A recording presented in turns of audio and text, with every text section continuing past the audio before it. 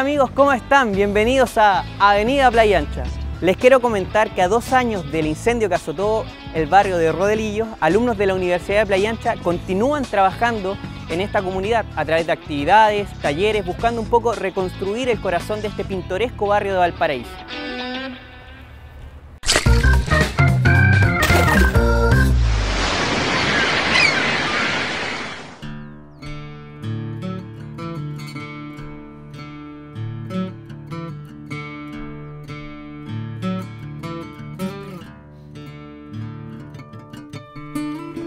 Mi nombre es Jorge Miralles, soy estudiante de terapia ocupacional de quinto año.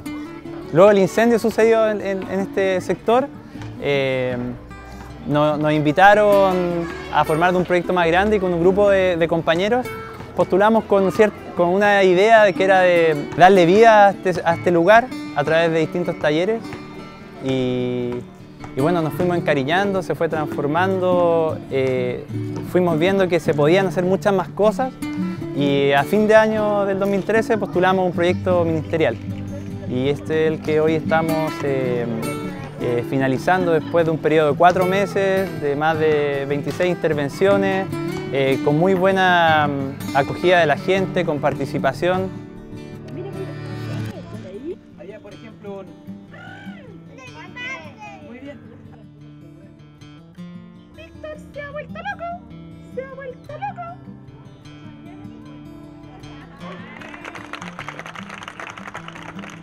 Hemos hecho taller de relajación, de, huerto, de manualidades, de expresión corporal, de música y también cada jornada eh, cocinamos, hacemos un, almuerzo comunitario. Entonces una jornada intensa desde las 10 de la mañana hasta las 4 o 5 de la tarde. a veces nos hemos ido como hasta la... Han dado las 5 y media y, hemos, hemos ido partiendo ya.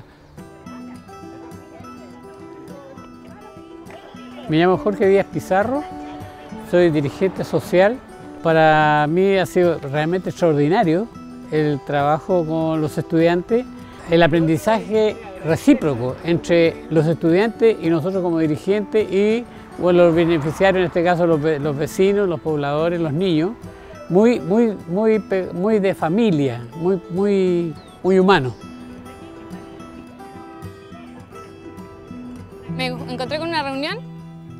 Así como que entré a una sala y me confundí y llegué ahí, como que eh, supe que venían a hacer voluntariados de Rodelillo. De ahí vine un sábado y lo encontré maravilloso, quedé muy motivada y ahí empecé a venir todos los sábados. El empoderamiento y el enfoque que tiene el proyecto de, de empoderar a la comunidad, antes era como que todos lo hacíamos nosotros, como que veníamos éramos como muy asistencialistas un poco y quizás fue una crítica del proyecto pasado para venir con otra mentalidad este año. Entonces, este año no, eh, han, han, surgido eh, de hecho ideas de ellos quizás de proponer talleres y ellos hacerles a, los vecinos, a los demás. Entonces como que sí, se nota mucho más la iniciativa de, de, ellos. Hola, yo soy José Luis Condoy Torres vengo al taller de reciclaje. Estos son unos muñecos de pulpo que hemos hecho con lana y uno lo termina, mm, y uno lo termina en una hora más o menos. He tenido momentos de, felicidad intensa, auténtica, solamente por situaciones. Por ejemplo, no sé, por una mesa llena, o los niños riéndose, o, inmersos en la actividad, los adultos mayores eh, eh, felices por aprender algo, ellos enseñándonos a nosotros y, a veces súper cansados, pero hay, una, hay, hay algo detrás que se está formando y que vale la pena hacer el esfuerzo. Se necesita, claro, estar en comunidad y conocer más, gente en realidad, porque tú te encierras muchas veces en tu, en tu espacio y eso no debiera ser para el adulto mayor, todo lo contrario, debieran existir más comunidades de que así como llegó este grupo de estudiantes, debieran llegar más grupos y hacer cosas eh, nuevas, para que a uno les sirvan.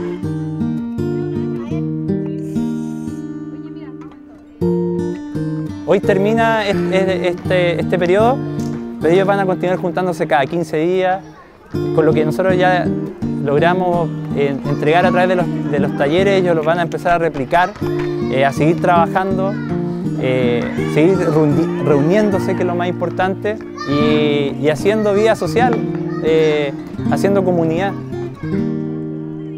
Una sonrisa de se vaya, no te abracen así, como que eso llena bastante y como suficientemente pagado venir acá y el aprendizaje es mucho, mucho, mucho, mucho. Ahí recién me doy cuenta de lo que estoy viviendo, de la experiencia.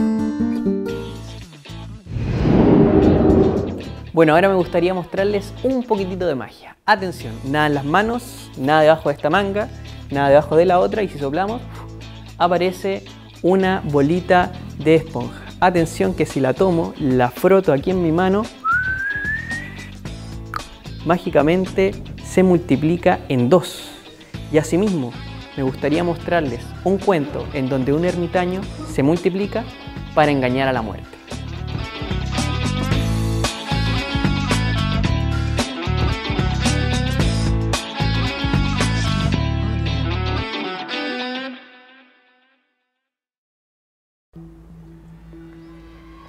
Este hombre decidió irse a vivir solo ahí a la montaña. Decidió convertirse en un ermitaño porque quería practicar, ensayar y dominar profundamente todas las artes sutiles. Y así fue dominando la teletransportación, la levitación, la telepatía, la magia y el ilusionismo. Lo único que no logró dominar fue su ego. Y así fue pasando el tiempo y cuando la muerte decidió ir por él, el hombre, que ya había dominado todas esas artes, sintió la presencia de la muerte. Inmediatamente se replicó y se convirtió en diez. Nueve copias de él hizo a través del ilusionismo y la magia. Cuando la muerte llegó y recorrió una a una las diez imágenes de aquel ermitaño, no supo cuál era el real. Y entonces, frustrada y ofuscada, volvió al, mundo de la muerte. A los cinco años, la muerte, habiendo encontrado la solución, volvió a buscar al ermitaño. Y este, presintiendo nuevamente la presencia de la muerte, se volvió a duplicar, triplicar, hasta convertirse otra vez en diez imágenes de él mismo. Cuando la muerte llegó hasta donde estaba él, sonriendo, pasó mirando una a una cada una de las copias y luego, dando un paso atrás y sonriendo, dijo, increíble, extraordinario, casi perfecto. Y dando un paso atrás, dijo, salvo por un error. ¿Y qué error es ese? dijo él saliendo entre sus copias. Pues precisamente ese, dijo la muerte, y tomándolo de las barbas, se lo llevó.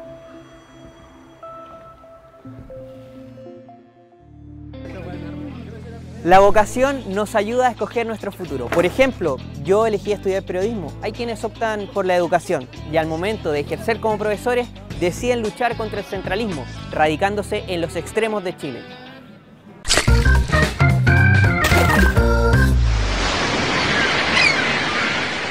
Mi nombre es Giovanni Francisco Novoa Hidalgo, soy profesor de artes musicales, egresado de la Universidad de Playa Ancha. Trabajo en Angol, mi ciudad natal, en un colegio particular subvencionado, que es el Colegio Particular Angol, el cual desarrolla un interesante proyecto artístico en el cual estoy inserto. La formación eh, pedagógica y valórica que he tenido yo en la universidad me ha permitido trabajar con mis alumnos eh, todo lo que tiene que ver con el rescate de la identidad cultural chilena y latinoamericana.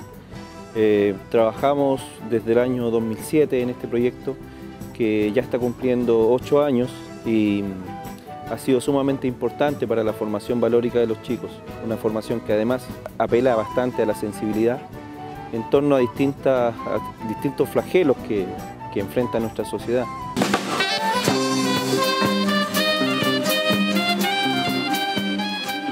La música ayuda a aliviar en parte, ¿cierto?, eh, todos estos distractores que posee la juventud actual. Para nadie es un secreto que eh, la drogadicción, la delincuencia, el alcoholismo son flagelos que siguen afectando tal como hace 10 años atrás. Eh, fijé mi, atención en la pedagogía para poder combatir en parte esto y qué mejor si lo hago a través de lo que más adoro hacer, que es la música. Trabajo desde hace siete años, ¿cierto? Estudio en lo que amo, ¿cierto? Desde hace muchos años más, pero favorablemente la, mi paso por la, por la universidad, el, posterior trabajo que puedo desarrollar ahora con jóvenes y con niños, eh, me hace sentir una persona plena, porque puedo enseñarles lo que, en lo que yo creo, ¿cierto? Y qué mejor que lograr estos resultados sonoros que, se traducen en, en un formato orquestal. Que el profe me ha acogido, me ha enseñado lo bueno, lo malo y me ha, es como parte de mi familia. Yo he tenido más lazos que de profesor-alumno, sino que ya casi amigos, casi hermanos. Nos hemos acostumbrado con, mis alumnos a, poder compartir música a diario, no solamente en un contexto de profesor-alumno, sino que en un contexto más de amistad. Es así que muchas veces nos, reunimos en distintas casas para poder hacer música, no solamente del corte latinoamericano que nosotros hacemos, sino que empezar a crear también, eh, incorporando nuevos elementos al trabajo musical, como es la improvisación. Hacemos una especie de jazz eh, andino, eh, jazz latinoamericano, y eso ha permitido aunar mucho los lazos entre profesor-alumno en este caso. Como músico nos ha entregado varios legados, ya que nos enseña el respeto, eh, la humildad, ante todo. Generalmente uno trata de, hacer las cosas bien para que él también eh, tome fuerza y pueda seguir adelante con, los más pequeños.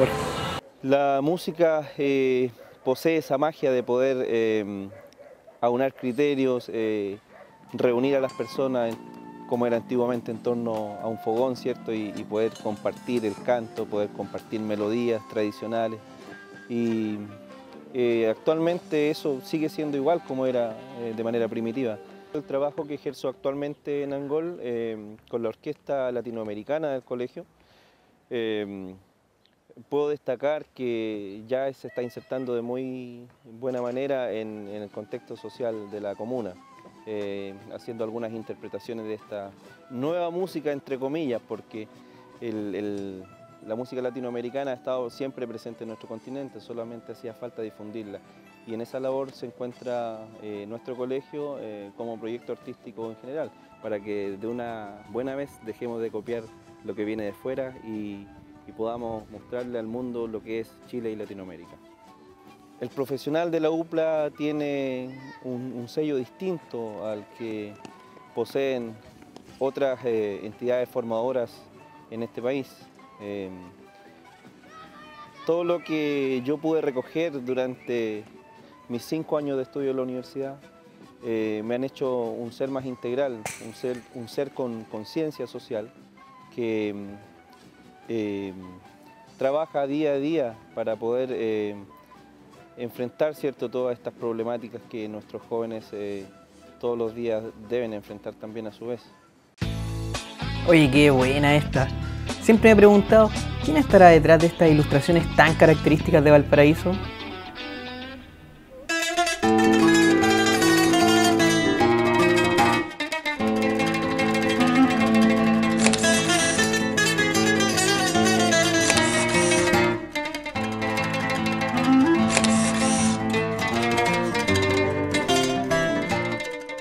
Nació en París en 48 eh, con el nombre de Thierry Laurent de Fer.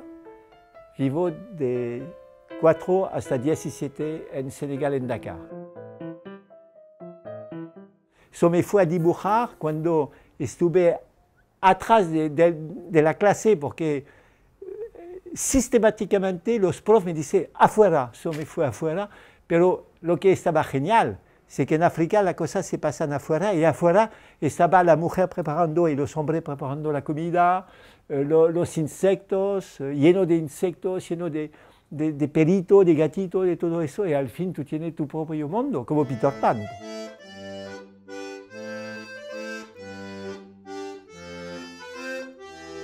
Mi madre, que estaba una campesina, quiere, tú vas a trabajar, tú vas a trabajar. Y mi padre, burgués, más tolerante, eh, maravilloso, me dice, ah, no, se va a un artista. Tú vas a ir en una escuela de preparación en Francia, porque se fue a ver un prof de dibujo en Dakar, muy famoso, que dice, sorry, pero este niño nunca va a dibujar, sus dibujos no son interesantes. Yo creo que en la vida, si tú encuentras una o dos personas que, te, que creen en ti, tú, tú, tú, te salvas la vida, solamente eso. Y durante dos años eh, aprendí a, a el mundo de, de, la artesanía, porque somos antes de todo artesanos. Pasando un día y amigos me hacen fotos y, joven pasando, niños hacen, ah, mira, es como Coirón mirando mi, estas cosas. Y un amigo, grande amigo, que es Alberto Ditborn, un cofondateur del MIM en Santiago, eh, me dice un día, cállate, loro, de mierda, pucha, porque hablo mucho. Eh.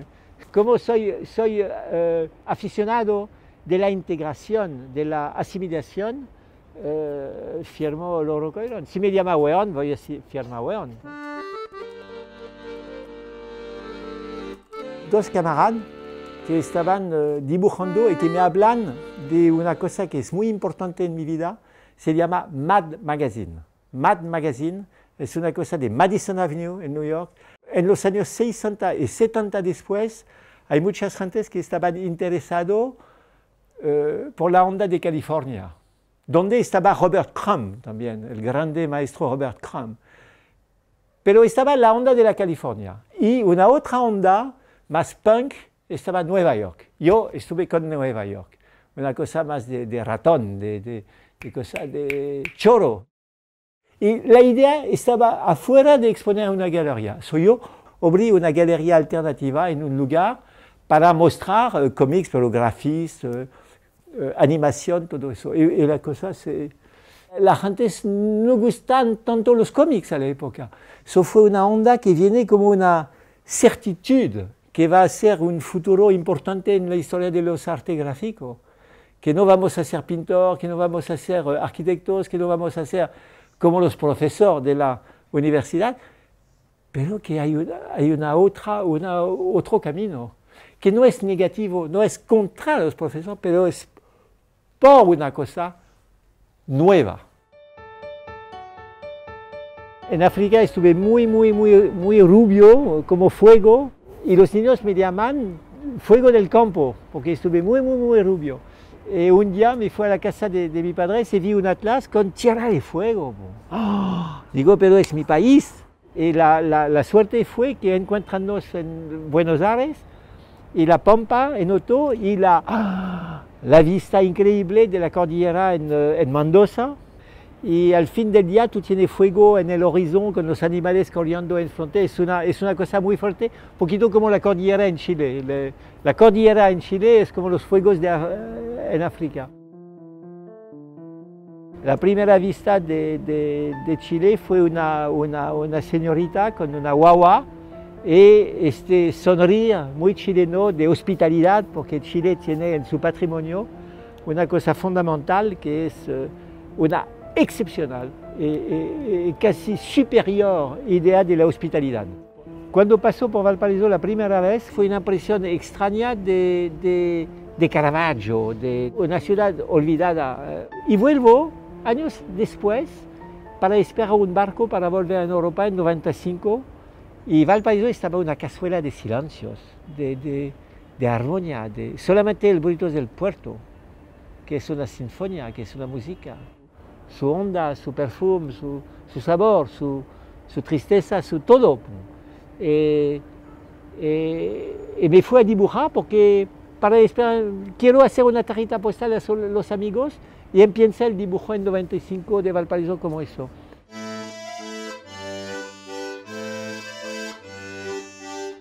Hay una cosa maravillosa que se llama el lápiz y el papelito y tú puedes hacer una heroica fantasía con solamente eso.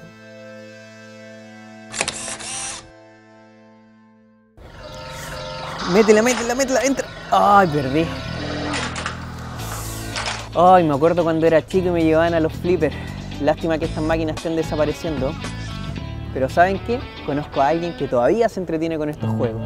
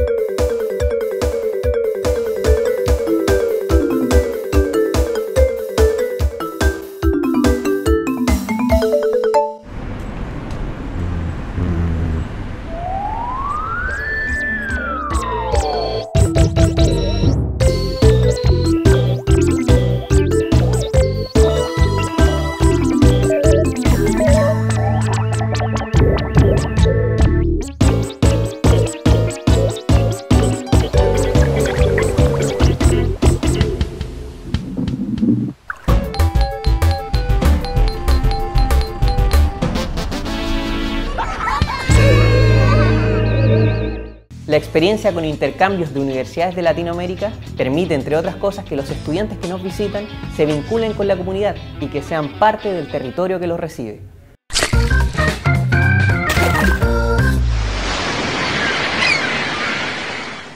Mi nombre es Gonzalo Vigil, vengo de la Universidad Nacional de Mar del Plata, Argentina.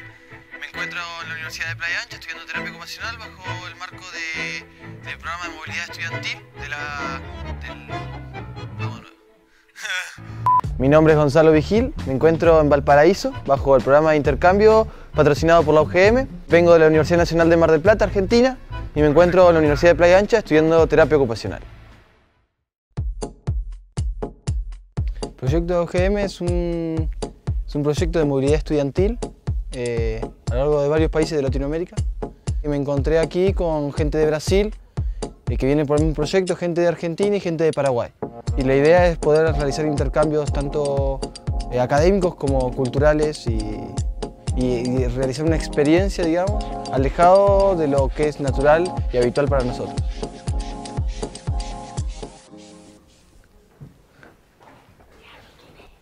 Bueno, yo vivo con el Felipe, un compañero de Brasil, eh, que se encuentra durmiendo hasta ahora porque es muy temprano en la mañana.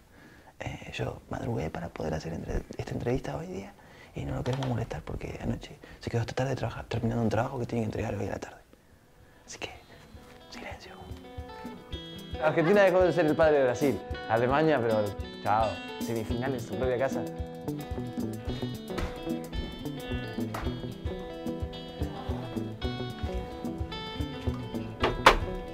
Cuando llegué a la Universidad de Playa Ancha, eh, comencé con un curso de ingreso que organizó el, el programa de Relaciones Internacionales. Eh, ahí conocí a todos los chiquillos de intercambio que están en el hostal también conmigo y a otro grupo de estudiantes que vienen de Estados Unidos. Eh, bueno, acá estamos en la mesa de la cocina, nos encontramos con tres compañeras del hostal de Mendoza que hacen artes. Eh, ella es la Caro, la Anita y la Nat. Eh, lo bueno es que no me equivoco los nombres esta vez.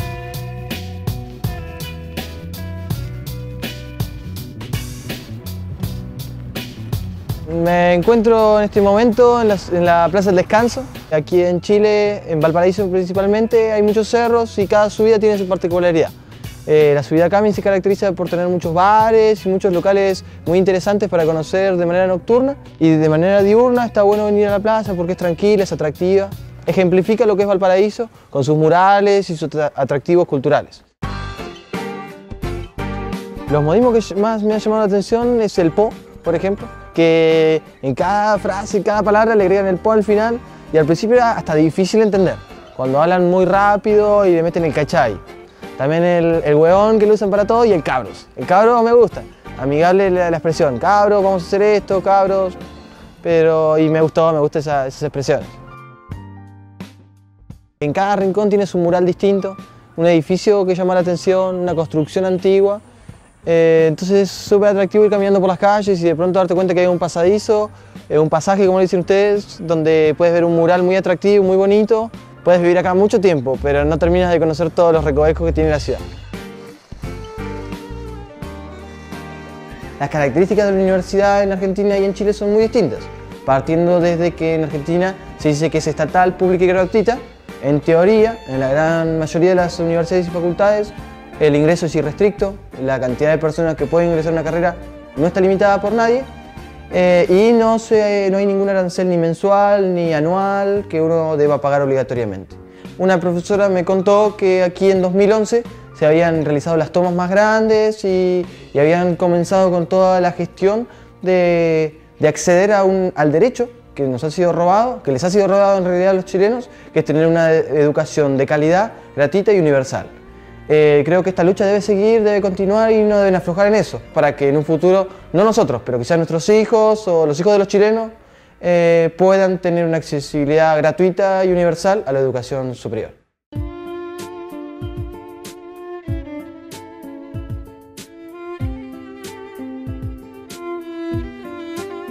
Estas experiencias de realizar movilidad estudiantil dentro de Latinoamérica creo que son fundamentales. Busquen hacerlo, eh, se motiven para sacrificar ciertas cuestiones, pero ganar ampliamente en lo que es la vida. Yo volvería a elegir hacer el intercambio, volvería a elegir la Universidad de Playa Ancha y recomendaría a todos mis compañeros que lo hagan, porque es una experiencia de vida eh, que te forma no solamente académicamente, sino de forma integral. Bueno, hemos llegado ya hasta el final se nos acabó el tiempo, hemos recorrido bastante. Yo me despido y nos vemos en Avenida Playa Ancha. Chao, chao.